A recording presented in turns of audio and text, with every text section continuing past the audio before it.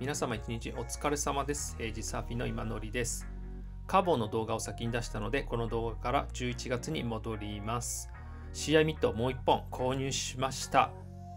CI ミット68をね乗り始めて1年経ち慣れてきたのと考案者のデボン・ハワードさんの言葉がずっと気になったんですよね雑誌のミッドレングス特集の中でこう語っていましたミッドレングスについてスイートスポットは7前後。自分の身長から12から14インチ足した長さがおすすめだそうです。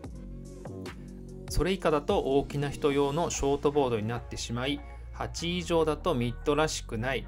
あと重さも重要軽すぎると機能しない。2プラス1シングルスタビですね。がオールラウンドでおすすめと語っています。気になる方は Kindle 読み放題をね1ヶ月でも契約すればすぐに読めるのでもしくはね中古で本とか探してみてください私の身長プラス12から14インチだと610から7ぐらいなんですよね。ということで CI ミットの7を今回購入しました。2023年 US 産のボードはオーダーしないと手に入らないみたいですよね。悩んだ末にネットでオーストラリア産の CI ミットを買いました。両方あるので US 産とオーストラリア産の CI ミットを比較をしてみたいと思います。奥の68が US 産ですね。ロゴと表にホログラムがあります。カメラだと分かりづらいんですが、同じブルーでも色が全然違うんですよね。US 産は発色がすごい綺麗です。クロスの処理もね、US 産は綺麗ですね。オーストラリア産はね、こういう際がね、もやっとしてます。US 産はね、すごい綺麗でピシッと綺麗ですね。オーストラリア産はね、色のムラとかもありますね。US 産はね、全くないんですよね。オーストラリア産だけ買っていたら気づかないかもしれませんが、両方比べると分かりますね。あとはね、ストリンガー、オーストラリア産はね、こんな感じです。ちょっとまあ分かりづらいかもしれませんが、木が結構ね、汚れてるっていうか、線が入ってたりしてますね。それに比べて US 産はね、もう綺麗な色です。全く汚れはないですね。まあ、汚れっていうのか、溝っていうのか、木のなんか年輪というのか。この色味がね、実物と一番近いかもしれませんね。上が US 産で、下がオーストラリア産です。すごい色出てますよね。同じブルーでもターコイズブルーっていうんですかね。あとはボードを押すとオーストラリア産の方が柔らかい感じがしますね。US 産の方が硬いです。エッジは両方とも同じ感じ。私、ボード博士じゃないんで詳しくはわからないですが、比べると見た目は US さんがいいなという感じです。高いけどオーストラリア産と US 産では価格がかなり違うので、あとはまあ人それぞれ好きな方を選んでみてください。重ねてみました。長さ比較、上から510のショートボード、68、7の CI ミットです。まあそんな変わんないですよね。特に68と7なんて10センチしか変わらないですからね。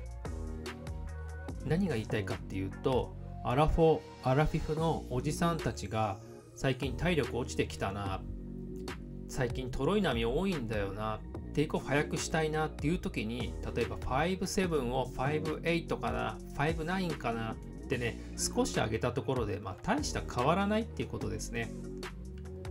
もし競技者じゃないんだったらテイクオフ早くしたいんだったらそうですね最低64とか66ぐらいはいかないとテイクオフ早いなっていう違いはわからないと思います。私 CI ミットの7でも、まあ、もちろん違いはありますけれども、そこまでテイクオフ早くないですからね。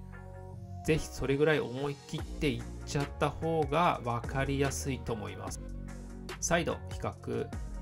上の68はね、40.2リッターなんですが、まあ、10センチしか変わらないと言っても、7はね、44.9リッターと5リッターぐらい上がるんですよね。まあ、全体的に、まあ、主にね、前の方になんですが、5リッター分熱く浮力が乗ってくるっていうことで、まあ、これがどう出るかって感じですね。では乗ってみて、デボン・ハワードさんのミッドレングスらしさっていうのをね感じてみて最後にレビューしたいと思いますでは行ってきます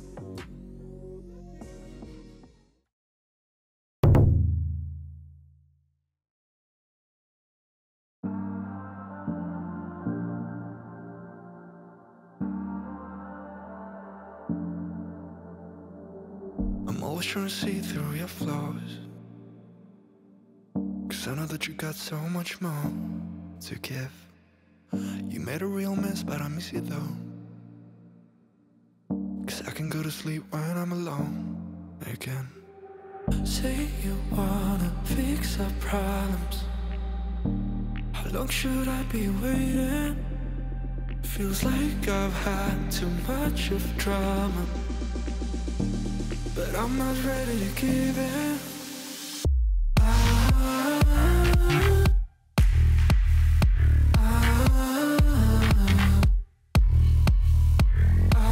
ah,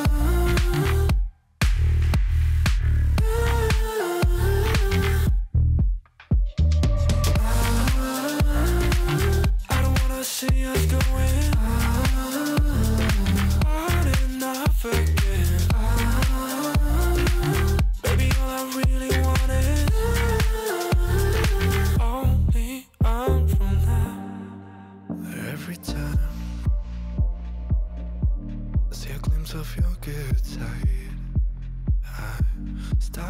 wondering how I could make it last a little longer.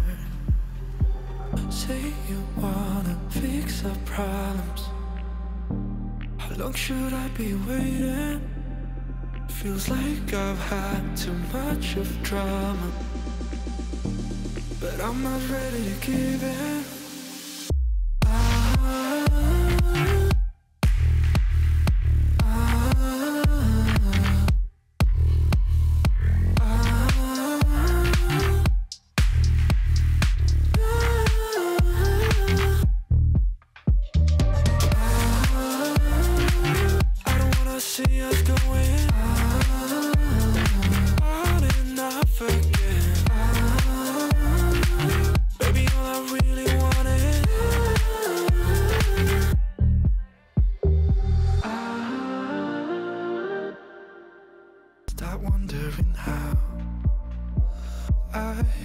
Make it last a little longer. Say you wanna fix our problems. How long should I be waiting? Feels like I've had too much of drama. But I'm not ready to give in.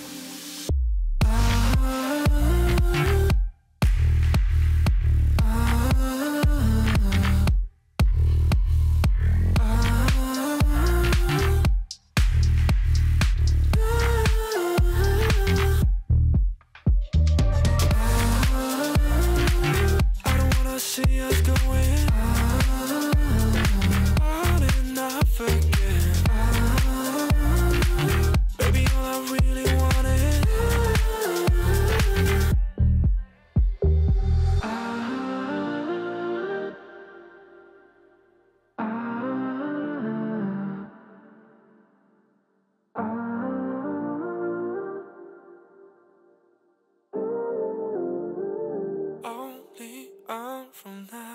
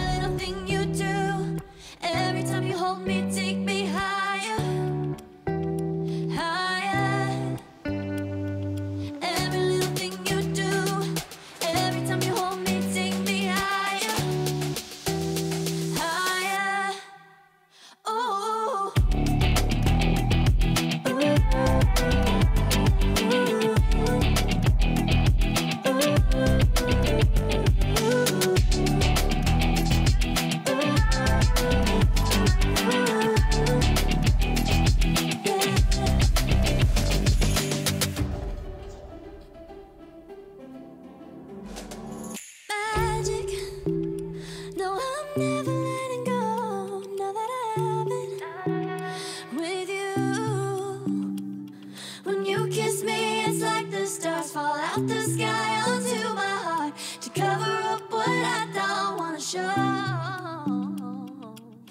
I let you in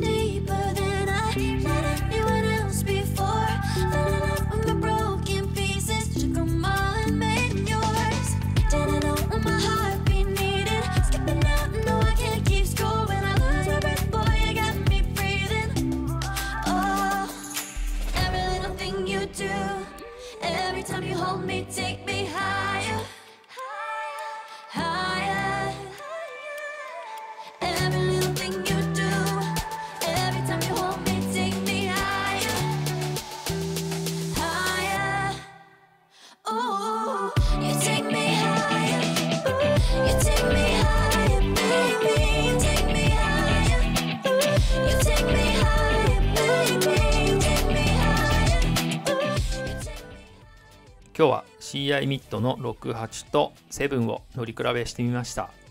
サイズも違うので US 産とオーストラリア産の違いはちょっとわからなかったし感じれなかったですね。デボン・ハワードさんのおすすめ身長プラス14インチっていうのを乗ってみた感想はこれはミッドレングスだねって感じ。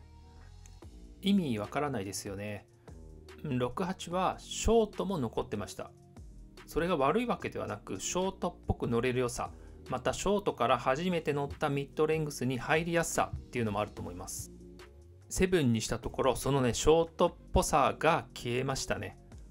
どこの部分にレールを入れるにしても、えーカットバックリップとかにしてもねショートっぽく乗れる瞬間はあまり感じれませんでした。だからこそショートにない、えークルージング感であったりテイクオフの速さ波をつないでいくね、えースピードがあるわけです。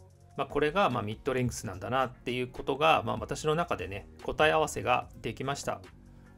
ただまだね1回しか乗ってないので、まあ、今この動画を作ってる時は何回か乗ってるんですが、まあ、だいぶ分かってきたのでちょっとねいろいろね長くなっちゃうのでそれは別にまとめて話したいと思います。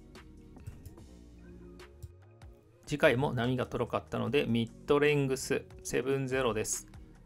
70乗って急になんかミッドレングスの乗り方分かってきましたね。結構調子よく乗れました。では最後までご視聴ありがとうございました。